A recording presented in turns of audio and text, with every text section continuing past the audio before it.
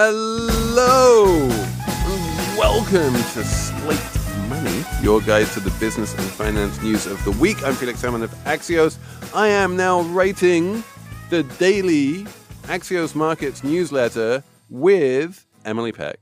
Hello, hello, hello. Hello. We're now we're now proper colleagues, Emily. It's not like we've been recording this podcast together every week for the past five years. Nope, now we're really working together. So make sure you're subscribed to Axios Markets. But yes, we are also here with Elizabeth Spiers. Hello. And we're going to talk about the big credit card merger, what got announced at the end of last week. We are going to also look at NVIDIA, which is the avatar of the AI bubble or the AI boom, depending on how you're looking at it. We are going to look at car washes and the whole new economics of car washes. We have an awesome Slate Plus segment about KitchenAids and other kitchen gadgets that last forever. It's all coming up Slate Money. This show is brought to you by Schwab. With Schwab investing themes, it's easy to invest in ideas you believe in, like online music and videos, artificial intelligence, electric vehicles, and more. Schwab's research process uncovers emerging trends, then their technology curates relevant stocks into themes. Choose from over 40 themes. Buy all the stocks in a theme as is or customize to better fit your investing goals. All in a few clicks. Schwab Investing Themes is not intended to be investment advice or a recommendation of any stock or investment strategy. Learn more at schwab.com slash thematic investing.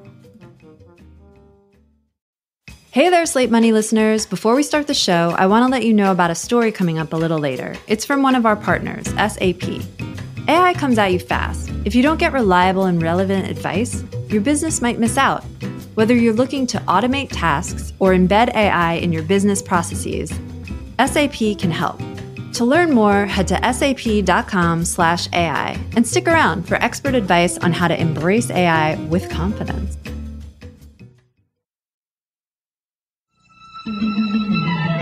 This is the dawn, the dawn of discover. The Discover card. Now you have a brighter day in store. In this world, you're always reaching for something better.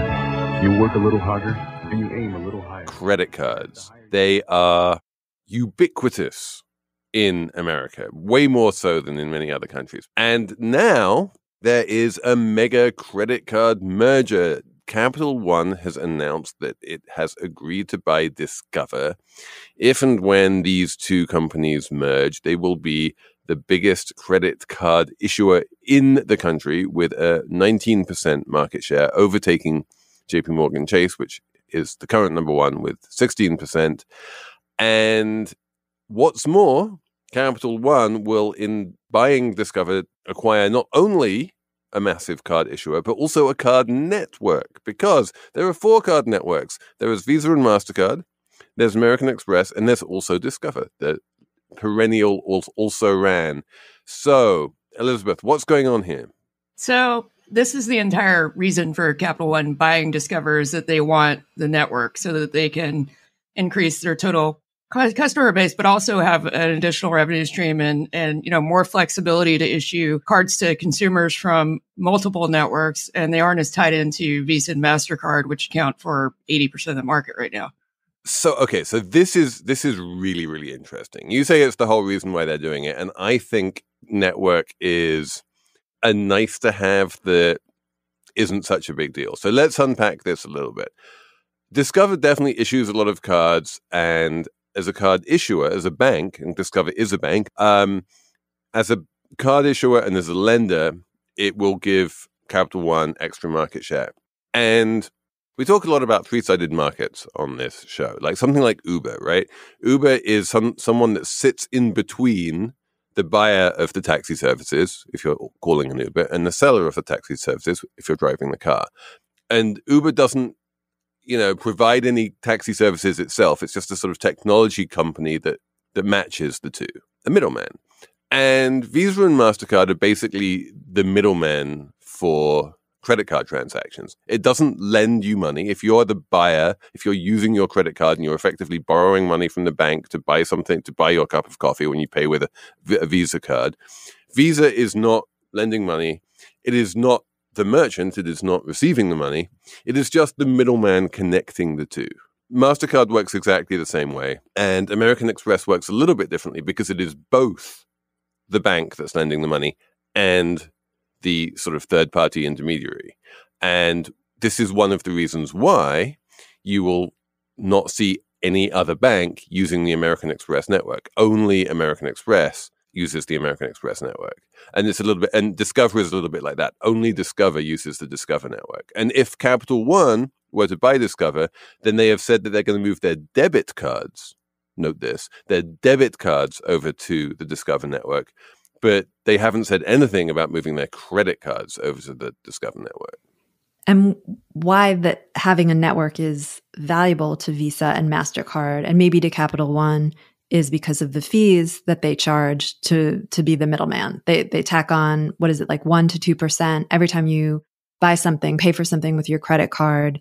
Mastercard or Visa takes a little a little eensy percentage of that and that's a huge huge business that's growing and growing because more people use cards now than than they used to even. And and to be clear, the merchant fees, like when if you're a, if you're a merchant and you know you pay two point seven five percent of the credit card transaction to the person you buy your point of sale terminal from, not all of that is going to Visa or MasterCard, right? That gets split up among a whole bunch of different places. A bunch of it goes to the people you're buying your point of sale service terminal from, a bunch of it goes to Visa and MasterCard, a bunch of it goes to the bank. And the bulk of it, weirdly, just comes back to you in the form of kickbacks, in the form of points. Like Americans in particular have these very high credit card fees and they wind up getting lots of miles and points and cash back and stuff like that. So a lot of that is just like a straight kickback to the consumer. But yeah, Visa and MasterCard do get a small cut of that. And that's why they are very valuable. They're both worth more than four hundred billion dollars. Um, you know, to to put this in perspective, Capital One has agreed to pay thirty five billion for Discover, and most of that thirty five billion is just for its card issuing business, not for its network. Also explains why when I get pizza, they give me a discount when I pay with cash. There used to be a rule that the credit card companies would force merchants to sign on to, saying that they wouldn't give cash discounts. But then that was made illegal um, as part of Dodd Frank, I think, or somewhere around there. So now it's legal for merchants to say, listen, you know, our credit card fees are ludicrously high. And if you pay cash, we'll give you a discount. And and I honestly I think that should happen more often because they are ludicrously high and it's a crazy inefficiency in the market. And in most countries they're regulated and in the united states debit card fees are regulated under something called the durbin amendment but credit card fees are not and they only ever seem to go up and up and up and up and and it doesn't do any good to anyone you know there there are some obvious synergies between capital one and discover and that you know their their customer base is is very similar you know they carry a lot of subprime debt. And if you're trying to consolidate, that that makes sense. But I do think the network was a key part of the acquisition. No so I think the network is weird. That this is this is a super sort of weird cunning thing, and we're, I know I can feel the antitrust train coming down the tracks towards me at high speed. So let's just like get this out of the way right now. This is a hugely anti-competitive merger, right? It is one of those classic horizontal mergers where you take two issuers who are very big in a certain market and you tie them together and so they're no longer competing with each other and it is almost by definition anti-competitive right? And there is interesting research that just came out last week or week before from the consumer financial protection bureau which shows that the biggest card issuers which is capital one jp morgan discover um, amex they charge much higher interest rates, much higher APRs than smaller card issuers for a whole bunch of reasons that we don't need to go into, but we can if you want. Um, and so, like, basically, there is a very strong reason to believe that the rates that Capital One will be able to charge will go up. The interest rates they will be able to, charge to borrowers will go up if they um, merge with Discover, and they will make more money that way. And that is clearly bad for consumers. And so the antitrust people are not going to like that. But it's obviously clearly good for Capital One. So that's part of the reason why they want to buy Discover is they'll have more power to raise their APRs. Now, the question then becomes given that this is so obviously anti-competitive given that like the first thing that we saw in congress when this was announced was not only elizabeth warren saying this is crazy it has to be banned but also josh hawley saying this is crazy it has to be banned like there's a bipartisan congressional consensus that this is crazy and it has to be banned so what capital one needs is some hope some vague hope that like somehow they have an argument that this is not anti-competitive and it's going to be good for consumers. And that's where the card network comes in. Because right now you have this duopoly of visa and mastercard. And what capital one has been trying to say with a straight face is well you know discover has been struggling but if we buy it it's going to it's we're going to invest in it and it's going to become much bigger and it's going to be able to compete with visa and mastercard and if it competes successfully with Visa and MasterCard, then that will help reduce the existing duopoly and that will be good for consumers. Yeah, there was a piece in the journal that basically made that argument. It was it was a regular news piece, but it it was very much like liberals are going to say this is violation of antitrust, but actually um, this will make Discover's network more powerful and they'll be able to lower interchange fees on the network now at, to be competitive with MasterCard and Visa. There'll be more price competition on the networks, and that'll be really good. Yeah, and I, I've, I, I mean, I saw that argument in Axios Closer as well. And I have yet to find a human being who will present this argument to me with a straight face and actually believe it. Um, for one thing, lower interchange fees are not directly and obviously good for consumers, right? Because you know, they just basically wind up going to higher profits for merchants or, you know, like I can see a little bit of argument that it might be good for merchants if there's a little bit of competition bringing interchange down.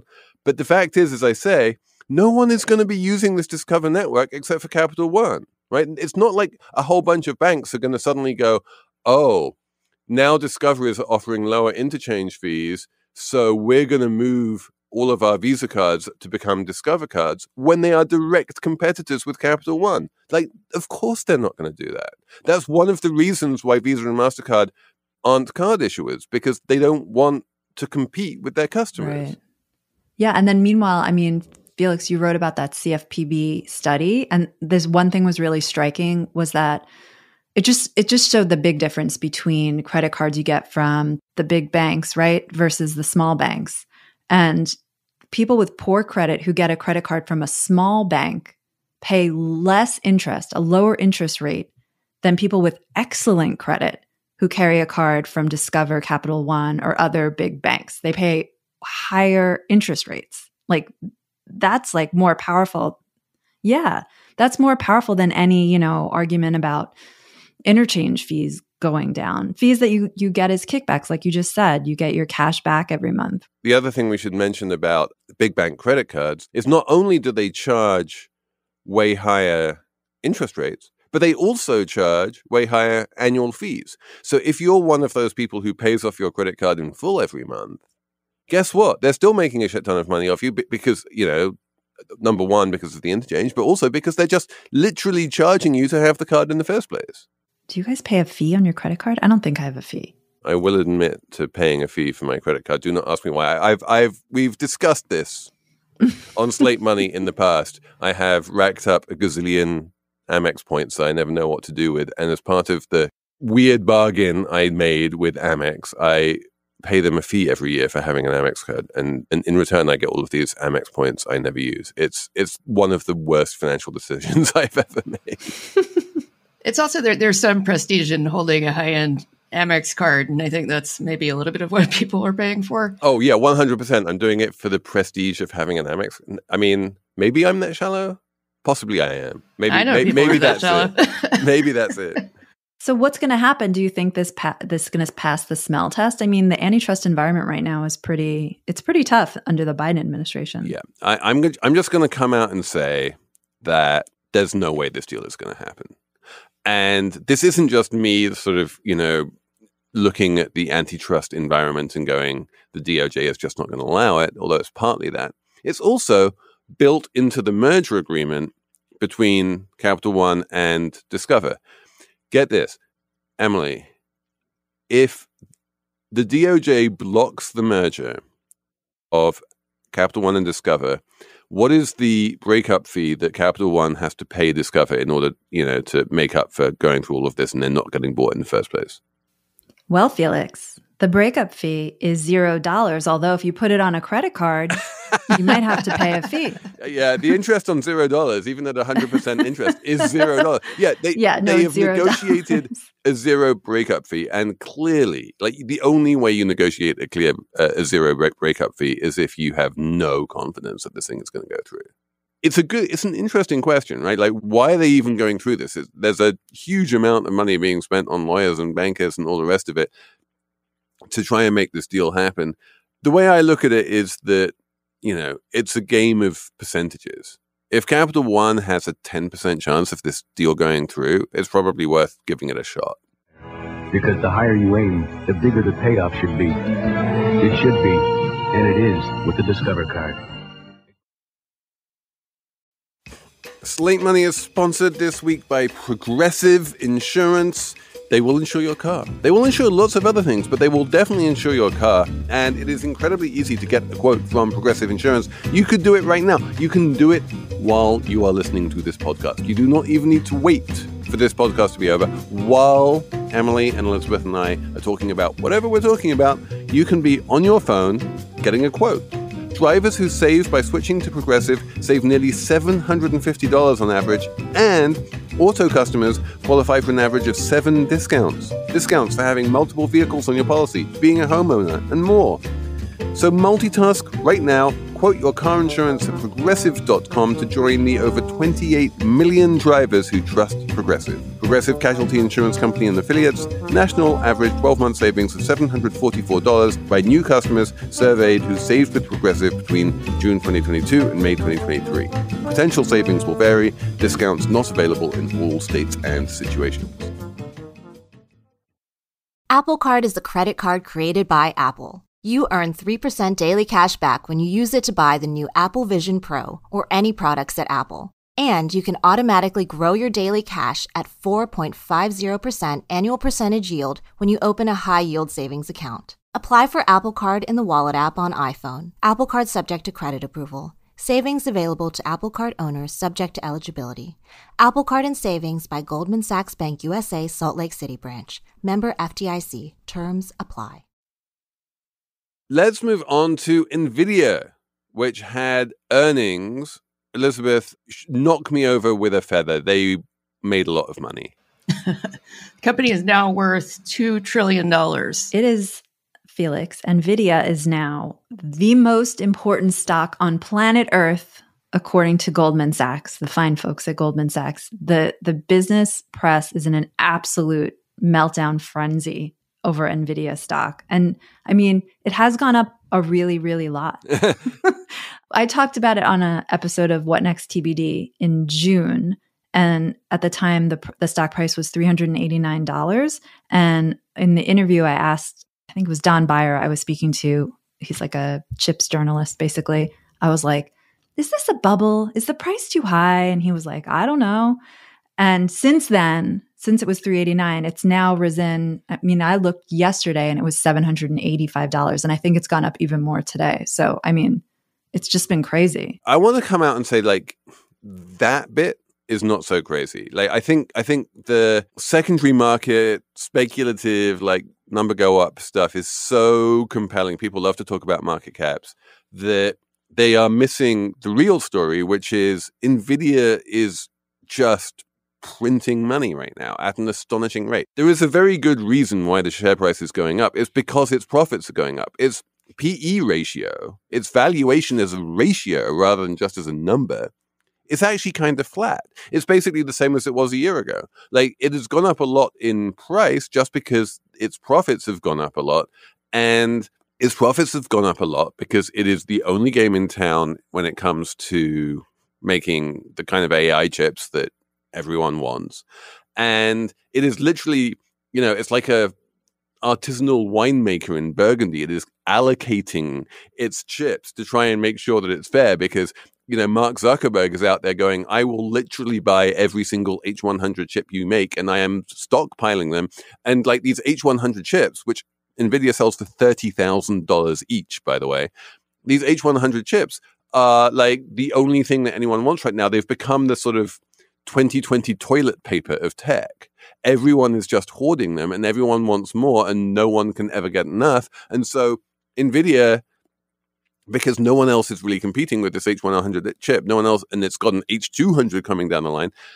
It's everyone else is just like two steps behind, and it's going to be a long time before anyone who isn't NVIDIA is going to be in a position to be able to compete with them for the kind of chips that everyone wants to power their AI applications. And up until now, it's just been like the big tech companies. You know, it's been OpenAI and Facebook and Apple and that kind of thing. But like the thing that Jensen Huang said on the earnings call, um, and he's the CEO and founder of NVIDIA, is yeah, that's changing. Now it's just every single company in the world wants and needs AI chips to power their business. I think it's you know also important context that Nvidia has such a big head start when it comes to selling graphic processing units specifically. You know, 10 years you would have bought a graphics card from NVIDIA, but probably to play, you know, an immersive VR game or something where you really can't have anything lower end and have the software function.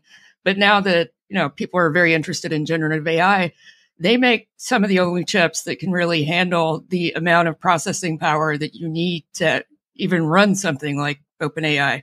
And there's just, you know, they have so much research and IP already under their belt that it's going to take a lot of the other chip makers quite a while to even catch up to where they are right now. I mean, it's a it's a question of it's a question of architecture. So, like as, as, you say, on, on one level, Nvidia was just kind of lucky that it turns out that the kind of architecture that lends itself to GPUs is also the kind of architecture that lends itself to LLMs, to large language models, and that you want to be like doing a bunch of little calculations at once in parallel rather than you know anyway it doesn't really matter. The important thing is that because it was good at gpus it had a head start. But then to his credit jensen huang made a massive investment in ai like seven eight years ago and was like we are going to totally start making very very bespoke ai chips you know, like the H100, no one's putting an H100 in their Sony PlayStation. You know, like these these chips are thirty thousand dollars each. They're very very bespoke AI chips, and they use that architecture. But also, Nvidia has then been listening to its customers, and they're like, "What kind of AI chips do you need? What kind of architecture do you need?" And they've been creating an entire ecosystem of ways in which people can customize and build the kind of compute that they need, and it's just basically the world in which every AI researcher has grown up in. And moving away from that architecture to anyone else's architecture would be so hard.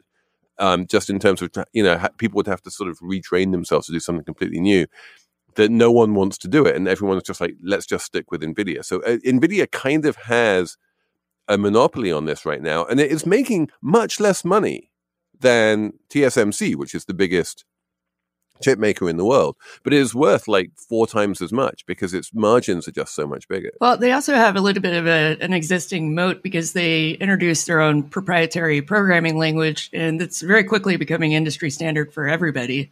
And so, you know, it'd be very difficult to take them out of the equation, even if other chip companies you know develop similar technology. The, the, only the only question is are they going to have this complete monopoly that they have right now for the foreseeable future where there's no one else making AI chips that anyone wants?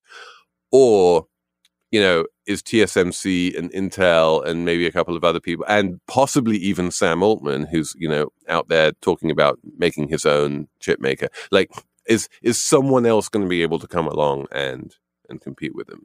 And this is the classic. I mean, this is just, I think Jensen Huang, famous for wearing a black leather jacket and founding NVIDIA in a Denny's in 1993. And they did just put a plaque in the Denny's, just fun facts. This is just the beginning of something. Jensen Huang called this like the AI tipping point.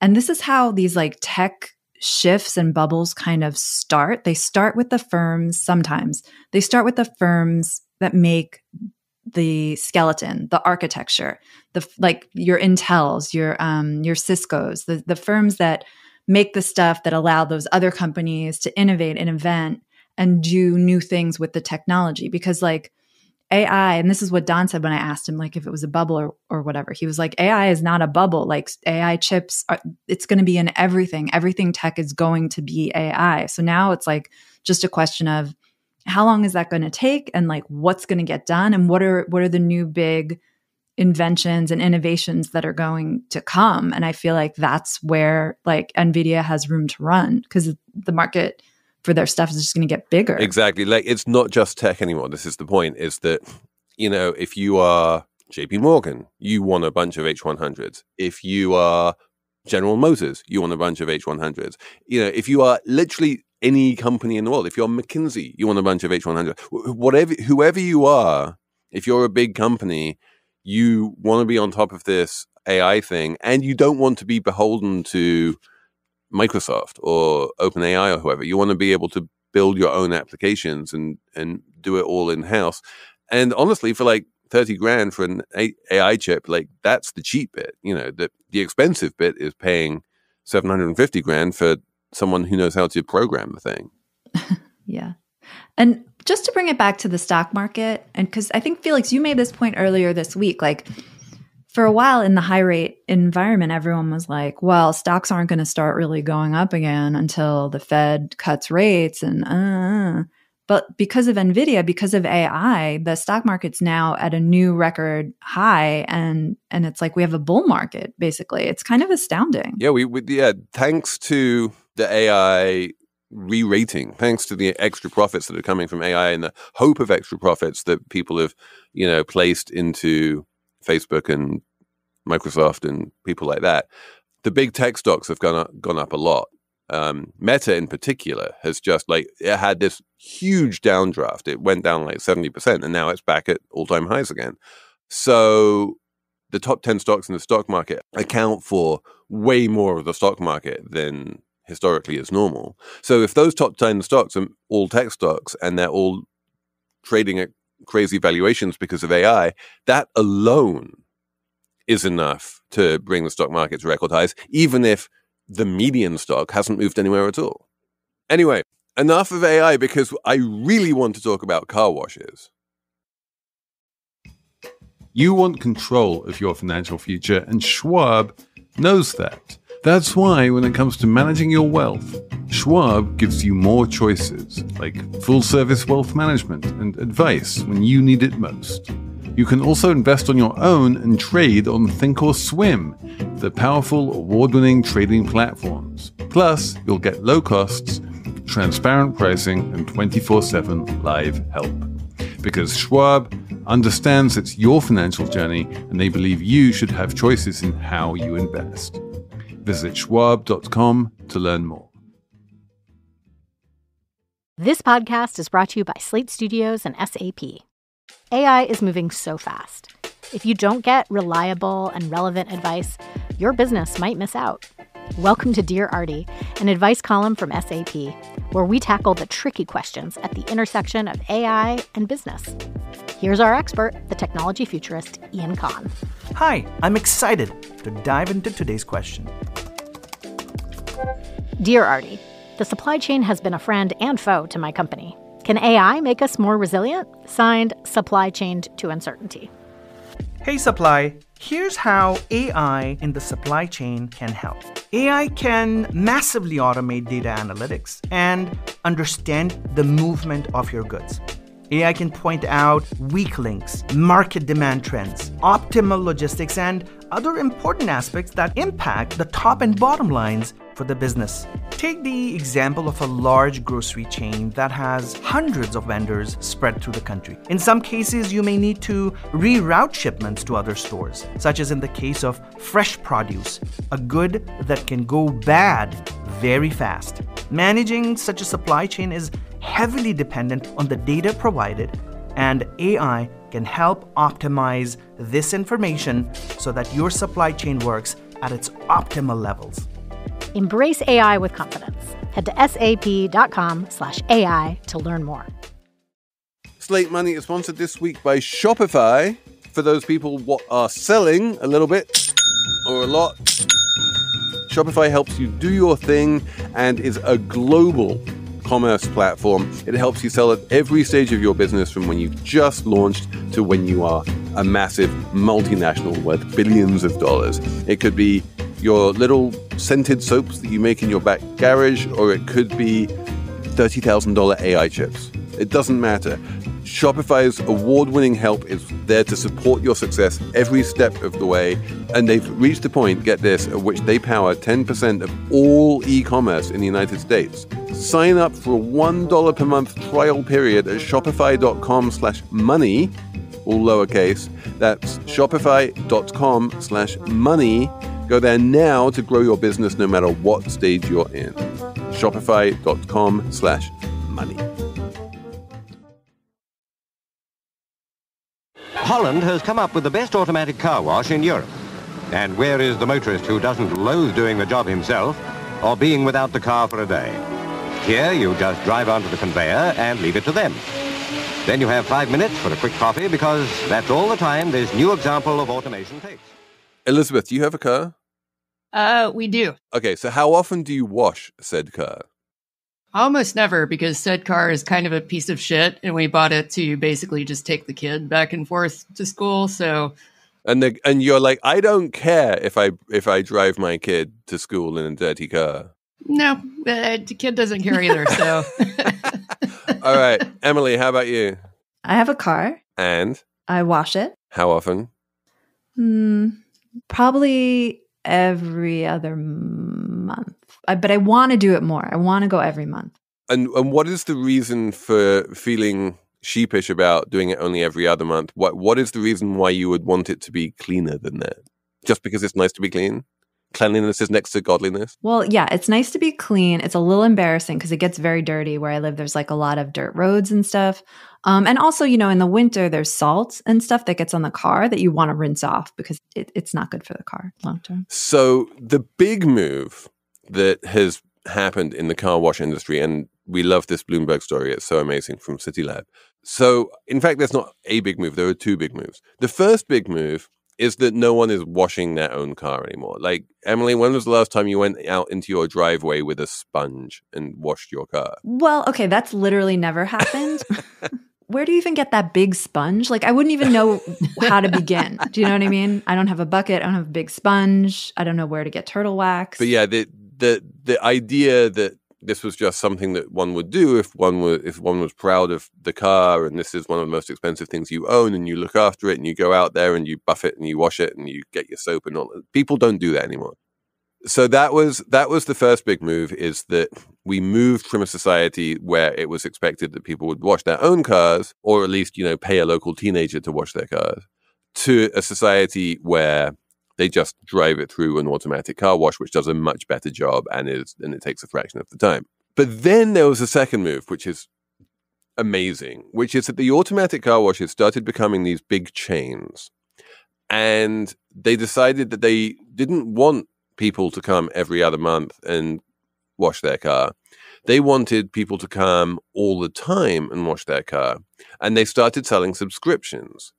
And the subscriptions were based on this idea that if you buy an unlimited subscription to this car wash, you'll wash your car much, much more frequently.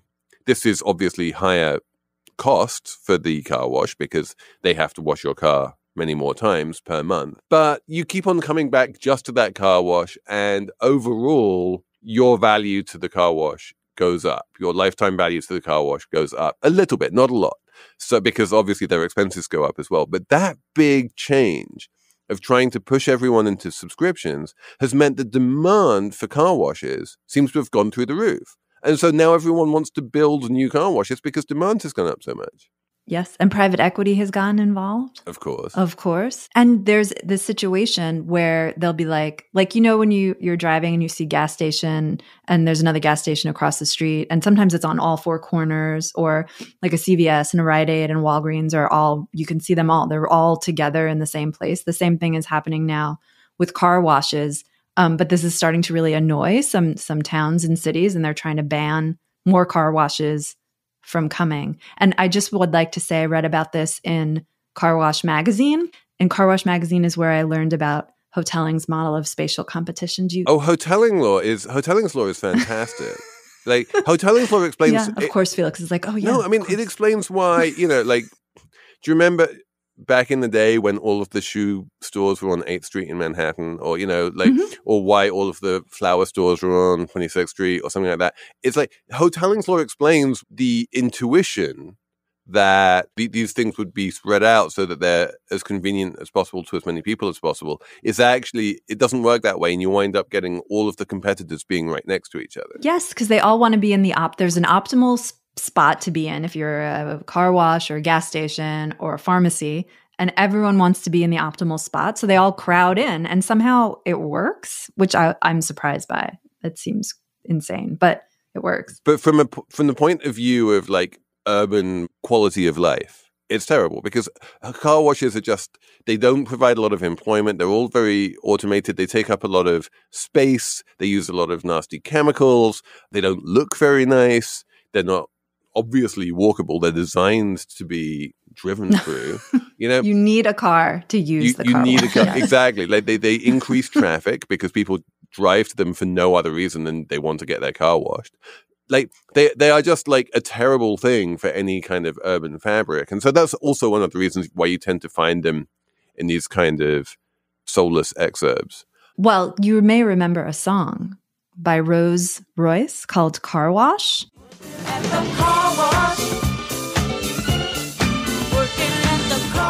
It was written for a movie, and the lyrics are all about washing the car by hand. those cars never seem to stop coming. Work and work. Keep those rags and machines humming. Work. Anyway, that's not how the car wash works anymore. It's very automated. You go through, sometimes there's like no one at the car wash. It's not a party anymore. yeah, there's no party with the big sponges. I'm obsessed with those, I guess. Um, but yeah, there's there's it's all automated, which I feel like is not a bad thing because those jobs never struck me as very good anyway. Like they're pretty low paying, kind of hard jobs. I mean, despite how much fun it looked in the movie. yeah like it's fine it's fine in the middle of the summer but like in the winter you don't want to be working in a you know sponge And the automation and the subscriptions are really good for the business because I guess it used to be a very seasonal business. Like if it rains, you don't make any money. But because you have a subscription customer base, if it rains, it doesn't matter. You make more money because no one's coming. You don't have to use any resources.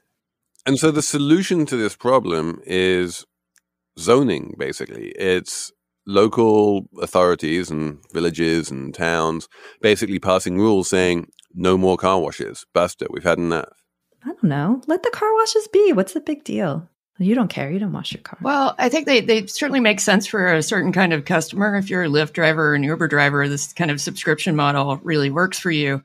Although I do think there's anytime you have a pricing model that allows for unlimited anything, I think it switches consumer behavior into doing something more often than you would rationally do it. So, in terms of maybe ecological costs and stuff like that, it's probably bad. Yeah, wasn't that just a headline about some like fast food restaurant chain had unlimited shrimps or something and lost a bunch of money as a result? Red Lobster. It was a big disaster. Yeah. Yes, they they lost a lot of money because they. But that's their fault. They price their all you can eat shrimp at, at too low a price point, and they failed to understand how much people want to eat shrimp, which you would think they would understand because they're Red Lobster. The automated car washes do use a lot less water than if you're, you know, hand washing. It's, it's you know, 50 gallons versus 150. But if you go from washing your car once every two months to washing it three times a week, it, you know, that certainly nets out in the opposite direction. But also to the point, to to to Emily's point, no one's hand washing anyway. The question isn't, you know, would you use 150 otherwise? The question is, would you use 50 every other month, or would you use 50 three times a week? And that's obviously worse. At my car wash, they have a guy dressed in like this. I think it's like a monkey costume or an ape costume, who stands at the front of the automated drive-through and like gets excited when you come up, and it is the. It's like heartbreaking a little bit to me. Like I, I don't understand who that's for. You're trying to It's very replicate the party aspect of it.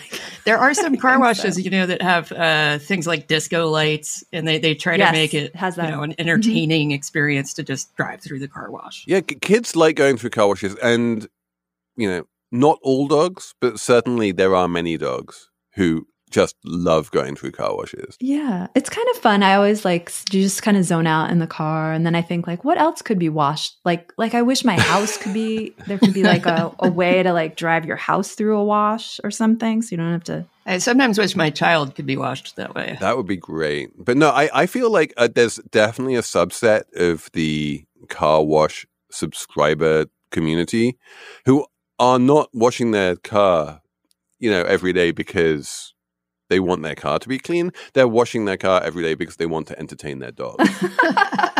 Some motorists, of course, have wives who take a pride in washing the car. But for the rest of us, this is just the job. Should we have a numbers round, people? Yes. Elizabeth. Okay, my number is 46, and that's percent. And based on an Economist YouGov poll of American reading habits, only 46% of Americans, or 46% of Americans finished exactly zero books last year. An additional 5% only read one. Is this up or down? Like, I feel like this is one of those questions where the first thing I always ask is, what's the time series? Is that number higher than it used to be or lower than it used to be? Uh, didn't say. Because I feel like in order to understand this this number, you need to be able to put it in perspective. Like, what was it in 1975 before we were all distracted by TikTok? But like, I, you know, like I feel like But also, if you- if Americans you have wanna be always in been the- bad at reading books. I don't think this is anything new. What if it's forty six percent who've read zero? That means a majority of Americans have read a book in the past year, right? A book. A books. Okay. If you read more than 50 books in the last year, you are in the top 1% of readers. That that is definitely not me. I have not read more than 50 books in the last year. I think I read close to that. if you read five, you're in the top 33%. Oh. Yeah, I think uh, this is actually one of the interesting things that's happened in recent years is that that top 1% it has actually increased their reading. Um, there's a pretty significant group of people who are reading books like more than a book a week. And that is a lot easier now in the world, you know, in the, and that is a lot easier now that ebooks are a thing and people just download a shit ton of books to their Kindle and read book after book after book. And this is particularly a thing in the romance reading public, but it's also in other places too. And the number of power readers who just read all the time is going up. Um, well, do audiobooks count? Yes, audiobooks count. Well, I mean, uh, I mean, I don't know if they count. I don't know if they count for for Elizabeth's statistic. Oh, I don't know if audiobooks do.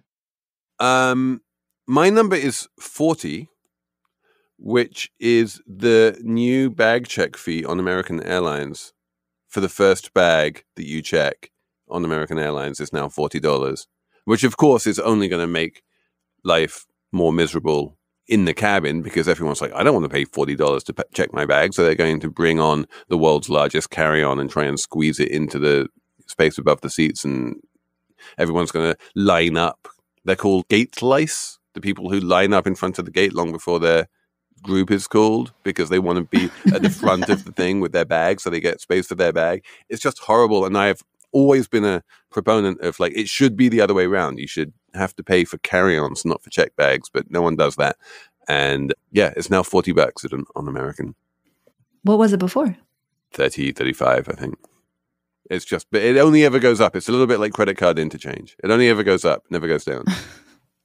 Emily, what's your number? Well, my number is 546. That is the number of English language words that mean drunkenness. I'm getting absolutely oystered. exactly. I think that might be on the list. It's according to a new paper in the journal Yearbook of the German Cognitive Linguistics Association. I read about it in Walt Hickey's delightful newsletter. And apparently, according to one other paper, drunk is the concept with the largest number of synonyms in the English language. There's a, it's, it's the one I thought like sex would be the number one, but I guess maybe drunk is. And this paper is awesome. We maybe can post it in our show notes. The, the appendix lists all 546 words, including like sozzled, cabbage, canned, fuddled, hammered, honkers, owly eyed, and on and on and on. It's just delightful. I, I feel like I need to go out and get shit faced. Thank you Emily. And thank you all for writing in on Slate Money at slate.com. Thanks to Jared Downing and to Cheyna Roth for producing the show. And we will be back next week with even more Slate Money.